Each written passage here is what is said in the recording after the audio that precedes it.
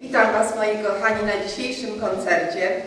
Witam Was uczniów katowickich szkół podstawowych, a także wszystkich tych, którzy słuchać i oglądać nas będą za pośrednictwem telewizji Zabrze. Spotykamy się dzisiaj w pięknej sali koncertowej Państwowej Szkoły Muzycznej imienia Mieczysława Karłowicza w Katowicach. Bardzo gorąco chciałam podziękować Pani Dyrektor Szkoły Dorocie Zawierusze za zaproszenie, za gościnę i pomoc w organizacji tegoż koncertu. A koncert nasz zapowiada się jako bardzo ciekawa, interesująca, atrakcyjna muzyczna podróż z piosenką i tańcem. Wykonawcami tego koncertu będzie znakomity zespół muzyczny, współpracujący ze sobą już ponad 25 lat o nazwie Todo Art Trio. Trio, czyli z ilu instrumentów złożonych? Trzech. Trzech instrumentów. Już za moment zobaczycie, jakie to instrumenty, zobaczycie, przede wszystkim usłyszycie. Natomiast gościem specjalnym naszego specjalisty spotkania, gościem koncertu jest bardzo młoda wokalistka Monika Glazer. Dwunastolatka pochodząca z Ukrainy. Kraju, który jak wiecie od wielu miesięcy ogarnięty jest straszną niszczycielską wojną. Monika przyjechała do Polski, początkowo wraz z mamą, już w trzecim dniu wojny. Y, Początkowo musiała pozostawić y, w Ukrainie swoich bliskich, przyjaciół. Teraz już jest całą rodziną, z bratem, y, z tatą tu w Polsce. Y, W Ukrainie uczyła się w szkole muzycznej. Bardzo często występowała jako solistka, także w zespołach wokalnych. Natomiast tu w Polsce jest uczennicą klasy szóstej. Są wśród nas szóstoklasiści, tak? Na pewno są. Y, Uczy się w szkole numer 23 w Gliwicach. Y, Oczywiście muzyka jest jej wielką pasją. Jej mama mówi, że jeszcze zanim zaczęła mówić, już śpiewała. Ale oprócz muzyki interesuje się także bardzo sportem, a zwłaszcza siatkówką, jak przed chwilą powiedziałam. Mimo tak młodego wieku Monika poszczycić może się już wspaniałymi laurami konkursowymi. Jest y, zdobywczynią nagrody Grand Prix Międzynarodowego Konkursu Wokalnego Nowa Fala. Zdobyła też Grand Prix na konkursie Gwiazdy Ukrainy. Tu w Polsce, w czasie kiedy przebywała, koncertowała ze znakomitymi orkiestrami, innymi Filharmonią Zabrzańską, Orkiestrą Miasta Jaworzna Arketki. Wystąpiła także w najbardziej prestiżowej, najsłynniejszej sali koncertowej Katowic, ale właściwie całego świata, Narodowej Orkiestrze Symfonicznej Polskiego Radia. Monika jest również finalistką bardzo znanego i lubianego także i u nas w Polsce konkursu The Voice Kids na Ukrainie. E, W tym konkursie wystąpiła jako dziewięciolatka i zachwyciła brawurowym wykonaniem przepięknej piosenki, ballady Leonarda Cohena, kanadyjskiego kompozytora, wokalisty, poety Halleluja. Y, Swoim wykonaniem y, podbiła serca jurorów i publiczności. Jurorzy po prostu stwierdzili, że śpiewa jak anioł. Międzynarodowy przebój, piosenka Halleluja, znalazła się w repertuarze największych wokalistów na całym świecie. To swego rodzaju hymn Halleluja, czyli chwalmy Pana. Pieśń mówiąca o miłości Boga do człowieka, a także o miłości między ludźmi. W dzisiejszym tak trudnym, skomplikowanym świecie te słowa pieśni Halleluja nabierają jakże ważnego, szczególnego znaczenia. A zatem, moi drodzy, przed Wami Monika Glazer oraz zespół Todo Art Trio w piosence Halleluja. Zapraszam.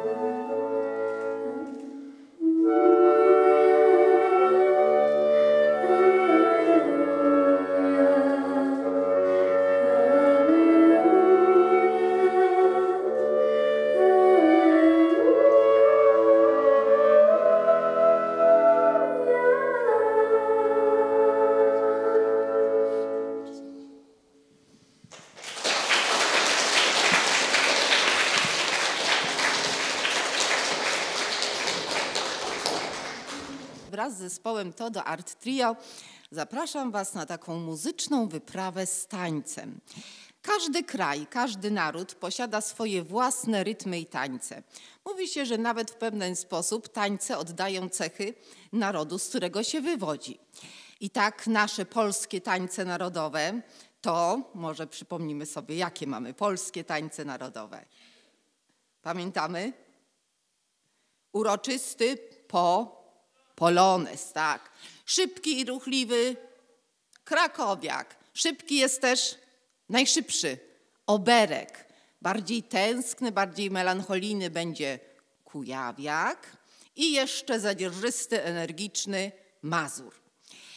Ale są tańce, które zdobyły popularność i uznanie na całym świecie, niezależnie od tego, gdzie się narodziły. Takim królem wśród tańców, uważajcie, opowiem o tańcu, a sami rozpoznacie, jaki to taniec. Narodził się w Austrii, taniec pełen wdzięku, elegancji, gracji, zawsze w metrum na trzy. Jaki to taniec? Walc, oczywiście. Walc króluje na całym świecie. To najpopularniejszy taniec, zarówno towarzyski, turniejowy, jak i taniec, do którego muzykę komponowało i komponuje wielu wybitnych twórców. Cudowne walce, właściwie poematy w rytmie walca tworzył nasz Fryderyk Chopin. I choć dziś może trudno w to uwierzyć, walc, kiedy narodził się ponad 200 lat temu, wywołał wielkie zamieszanie i oburzenie. Otóż był to pierwszy w historii taniec, w którym partner, tancerz, przez cały czas trzyma w ramionach tancerkę. Obejmuje ją. W poprzednich wiekach tańczono na odległość. Panie w jednym rzędzie, panowie w drugim. Od czasu do czasu podawano sobie z wdziękiem rękę i zmieniano tancerza. Poza tym ostrzegano przed jakoby zgubnymi dla zdrowia skutkami ciągłego wirowania w walcu. Szybko jednak pokonano te zupełnie niesłuszne przesądy. No i walc, tak jak powiedziałam, dzisiaj króluje na całym świecie. W repertuarze zespołu Todo Art Trio znalazł się przepiękny walc francuskiego kompozytora Leo Delibes, walc pochodzący z baletu Coppelia. Posłuchajmy.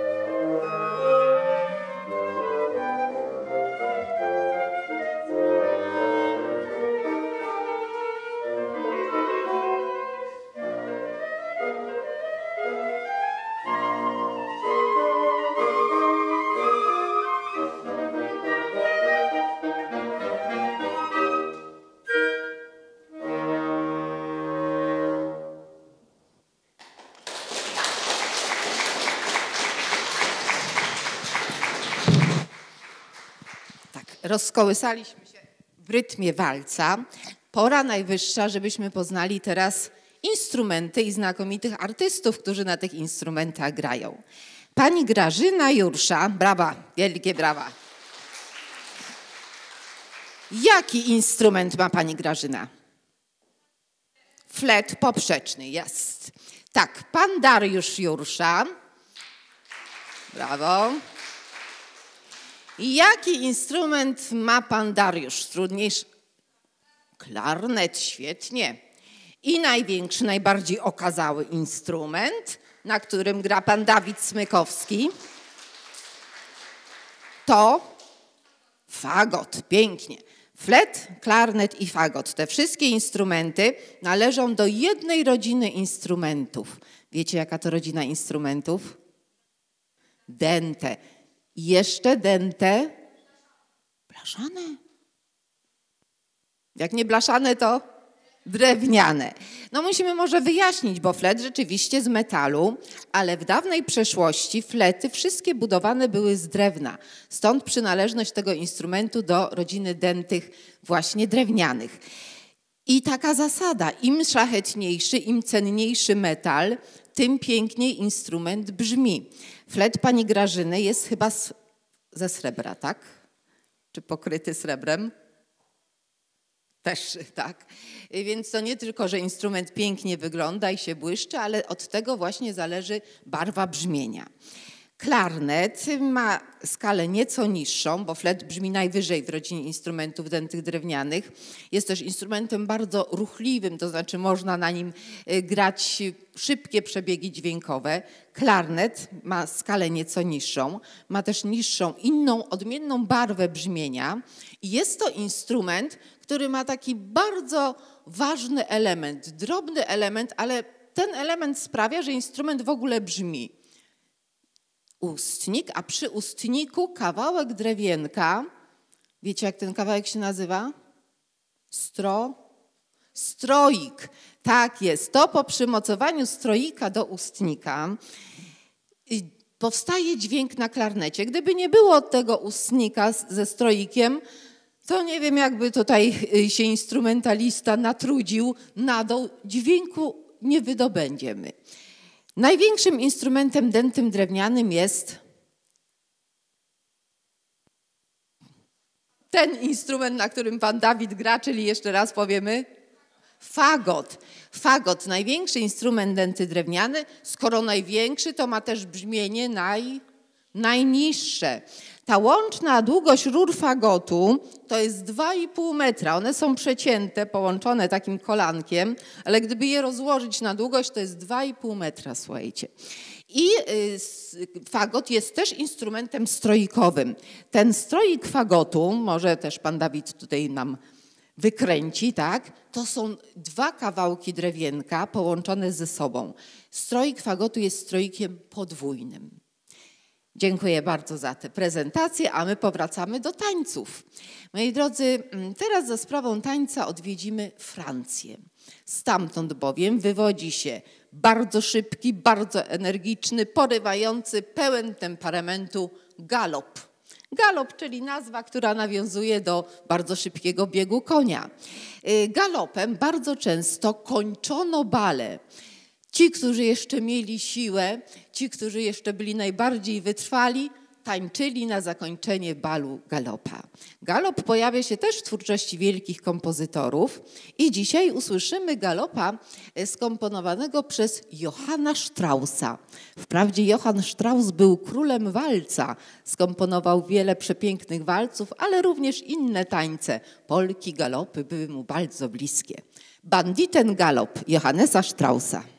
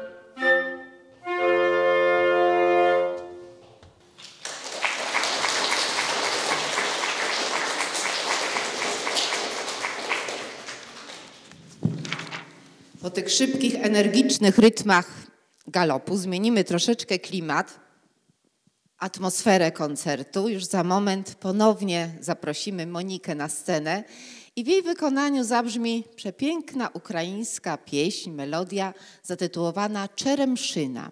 Czeremszyna, czyli czeremcha kwa, y, pachnący, piękny, aromatyczny krzew, a Czeremszyna to pieśń o miłości, o dziewczynie, która czeka swego ukochanego w otoczeniu pięknej przyrody, słychać głos kukułki, kwitnącą, widać kwitnącą wiśnie, a dziewczyna zrywa kwiaty kaliny i wpina je sobie we włosy. Pieśń Czeremszyna, a przed Wami Monika Glazer.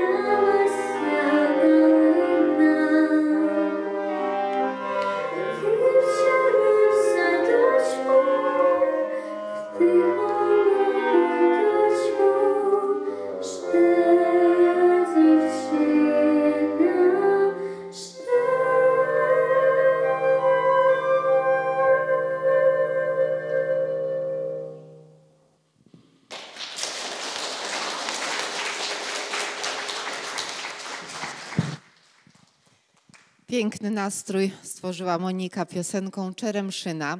Ja dodam, że wszystkie piosenki Monika dzisiaj wykonuje w zasadzie premierowo z zespołem Todo Art Trio. Jeszcze nie koncertowała z tym zespołem, a aranżacji tych piosenek dokonał nasz znakomity fagocista, pan Dawid Smykowski. Wielkie brawa.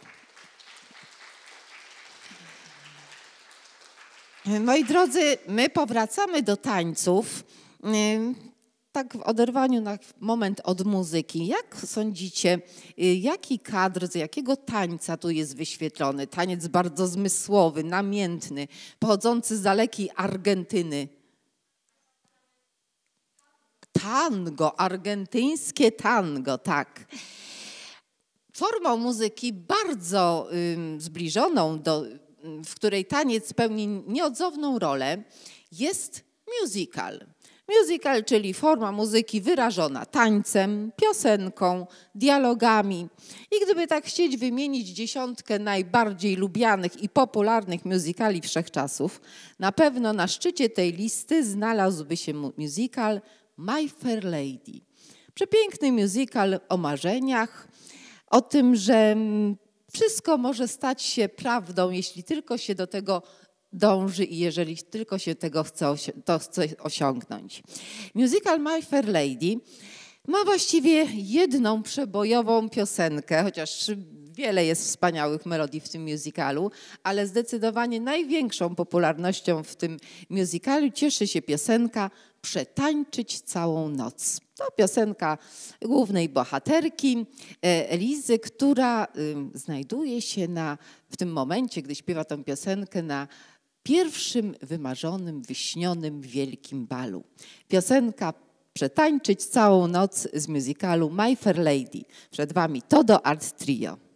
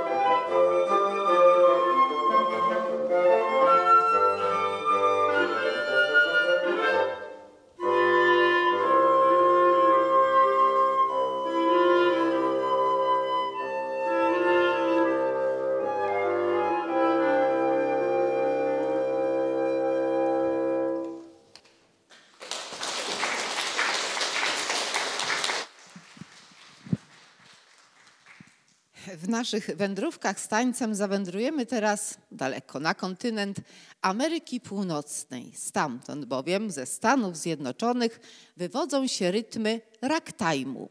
Ragtime to nie tylko taniec, to swoisty styl, gatunek muzyczny, który też w dużej mierze dał podstawy dla rozwoju muzyki jazzowej. Czym ra- charakteryzuje się ragtime? Właśnie tak silnie zaznaczoną rytmiką, a zwłaszcza przesuwanymi rytmami, czyli synkopami. Za twórcę ragtime'u y, uważany jest afroamerykański kompozytor, a także świetny pianista Scott Joplin. Początkowo Joplin swoje ragtime'y komponował wyłącznie na fortepian, ale z czasem tak ta forma, tak ten taniec spodobał się innym y, muzykom, że zaczęto grać ragtime'y na wszystkich instrumentach. Na dzisiejszym koncercie usłyszycie chyba najbardziej znany, najbardziej rozpowszechniony i popularny ragtime wszechczasów. Słynny ragtime The Entertainer. Na pewno znacie tą melodię, czy to z jakichś reklam, czy z sygnałów komórkowych, ale na pewno nie słyszeliście ragtime'u The Entertainer w takim właśnie wykonaniu. Flet, klarnet, fagot.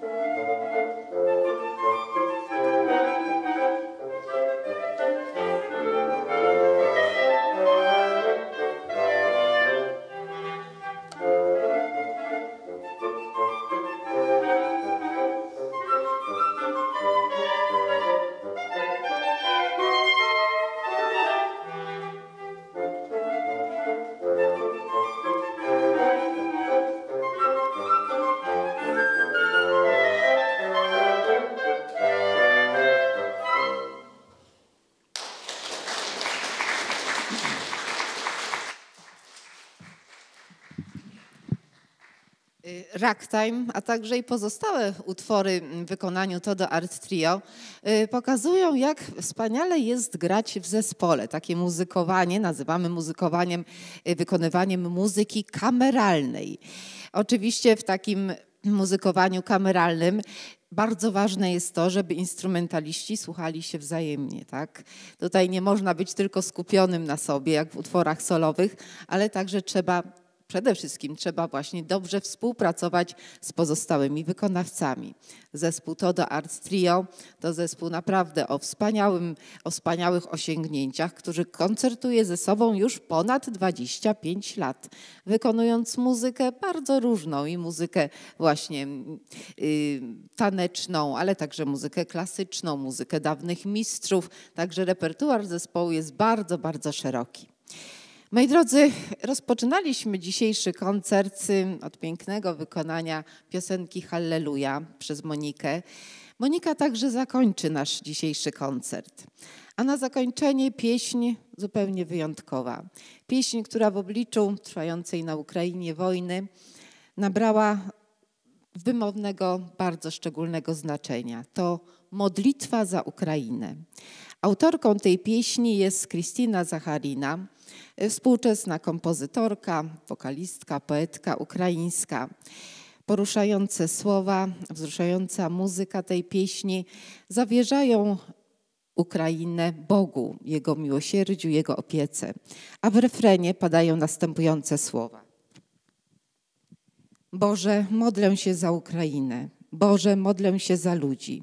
Wybaczasz im, ratujesz ich, okaż nam swoje miłosierdzie.